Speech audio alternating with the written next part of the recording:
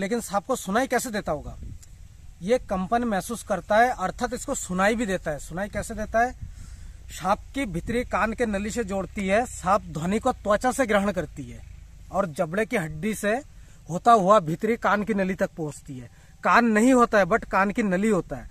तो कान की नली तक पहुँचती है, उस समय जो वाइब्रेट इसको महसूस होता है, उसी से ये अपने ध्वनि को पता लगा लेता है। तो फ्रेंड, हमारे यूट्यूब चैनल में आप सभी का स्वागत है। तो फ्रेंड आज फरवरी दो तारीख है और आज का मौसम आप देख सकते हैं, थोड़ा बहुत बारिश भी हल्का फुल्का हो रहा था।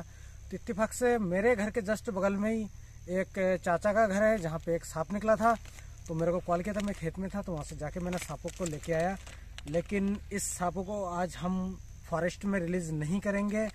हमारे खेत के आसपास ये मिट्टी कटा हुआ जगह है, जहाँ पे, यहाँ पे आए दिन जब धूप निकलता है तो कई सारे धामन सांप यहाँ किनारे किनारे धूप सेकने के लिए, यहाँ वहाँ हमें दिखता है हमेशा कि वो धूप सेकने के लिए बाहर आता है। तो हमने सोचा कि हम धामन जो सांप है, ये हमारे लिए बहुत ही बढ़िया अहम भूमिका निभाता है, इसलिए हम लोग अपने खेत में ही छोड़ रहे हैं इसको।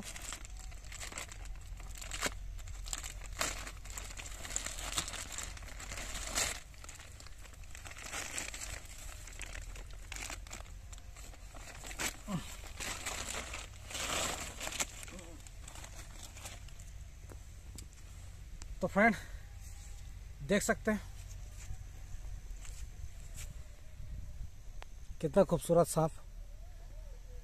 तो अभी जो मैंने इसके, इसको टच किया या तो इसको पकड़ा हुआ हूँ तो ये मेरे को भी इतना ज़्यादा ठंड लग रहा है कि क्या बताऊँ। बहुत ही ज़्यादा ठंड लग रहा है क्योंकि इसका भी शरीर जो है बहुत ही ठंडा हो चुका है। अगर थोड़ा बहुत धूप निकलता तो ये सांप को मैं ऐसा कभी पकड़ नहीं पाता, ये बहुत ही स्पीड में भागता। और इसको हम पकड़ नहीं पाते हैं। तभी तो इस इस सांपों का नाम, इस सांप का नाम घोड़ा पछाड़ के भी नाम से जानता है, क्योंकि ये सांप घोड़े की तरह दौड़ता है, क्योंकि हर सांपों में से सबसे तेज भागने वाला सांप यही है, जिसको हम धामन कहते हैं, बंगला में दावा सांप कहते हैं, इंग्लिश में रेड स्नैक के नाम से जानते हैं। तो ये सांप जो होता है, रेड स्नैक इसका नाम इसलिए है क्योंकि यह चूहा को खाने में बहुत ही माहिर होता है और चूहा को बहुत ही तेज़ी से खत्म कर देता है खाकर।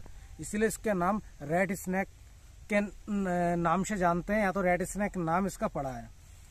तो अब ये डर रहा है। शायद ये किसी ह्यूमन के कांटेक्ट में पहली बार आया होगा, जैसा कोई इंसान के हाथों में पहली बार ये आया होगा।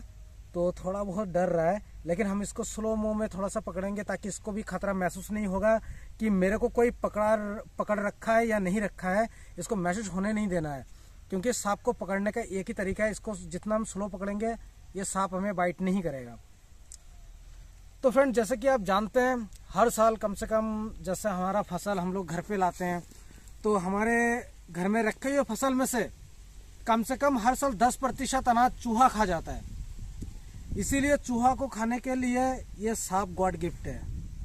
और ये सांप ऐसा भी है कि जैसा हमारे घर के आसपास कभी छोटे छोटे जहरीले सांप भी घुमा करते हैं तो ये सांप जहरीले सांप को भी खा जाता है। ये सांप दूसरे सांप को खा जाता है। जैसा छोटा अगर इसी रेड स्नैक का बच्चा भी होगा, जो छोटा तो वो भी ये सांप खा जाता है। तो ये एक इकोसिस्टम है और ये इकोसिस्टम को बैलेंस करके रखता है ये। और ये सांप हमारे जीवन में बहुत ही अहम भूमिका निभाता है। आप एक बार करीब से दिखा देता हूँ इसका पहचान, कि आप देख सकते हैं।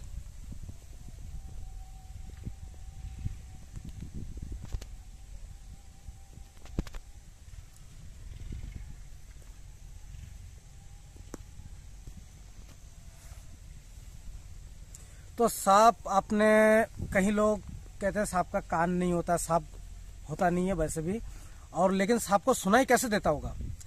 ये कंपन महसूस करता है, अर्थात इसको सुनाई भी देता है। सुनाई कैसे देता है? सांप की भीतरी कान के नली से जोड़ती है, सांप ध्वनि को त्वचा से ग्रहण करती है और जबड़े की हड्डी से होता हुआ भीतरी कान की नली तक पहुँचती है। कान नहीं होता है, बट कान की नली होता है। तो कान की नली तक पहुँचती है, उस समय जो वाइब्रेट इसको महसूस होता है, उसी से ये अपने ध्वनि को पता लगा लेता है। बहुत खूबसूरत सांप है।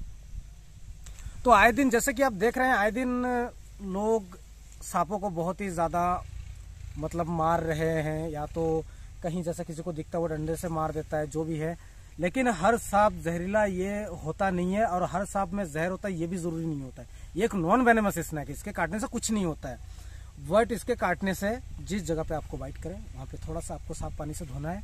धोने के बाद उसको फिर साफ़ कपड़े से पोच देना है तो उससे कोई खतरा नहीं है कोई कुछ नहीं होता है। तो फ्रेंड करते हैं रिलीज़ तो फ्रेंड हमारा रेस्टोरेंट रिलीज़ वीडियो अगर आपको पसंद आते हैं शापों से जुड़ी हुई तमाम जान, जानकारी आपको अगर पसंद आते हैं तो हमारे चैनल को प्लीज़ लाइक शेयर और सब्सक्राइब ज़रूर करें नोटिफिकेशन बटन दबाएँ बिल्कुल मत भूलिएगा। तो फ्रेंड मिलते हैं एक नेक्स्ट वीडियो में तब तक के लिए जय हिंद।